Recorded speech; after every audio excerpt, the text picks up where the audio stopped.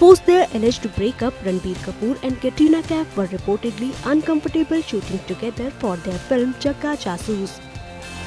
The two tried to avoid each other so much on the sets that reportedly their common friend director Ayan Mukherjee was called upon the sets to start a dialogue between Ranbir and Katrina and help them in shoot.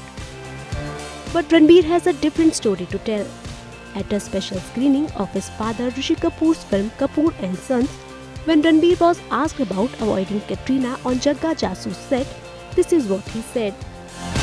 बहुत अच्छा जा रहा है यहाँ। नहीं नहीं ऐसी कोई प्रॉब्लम नहीं है। कुछ अभी थोड़े दिन बाकी है।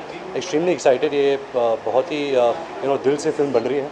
जहाँ अनुराग का सवाल है कटरीना का सवाल है यहाँ मेरा सवाल है। And extremely excited I think हम फ़र्स्ट लुक अभी अगले महीने डालने वाले हैं। And when you see the trailer and the teaser I hope everyone likes it We don't know if this is true or not, but we hope everything sets right between the two actors so that the others associated with the film do not suffer. IANS Report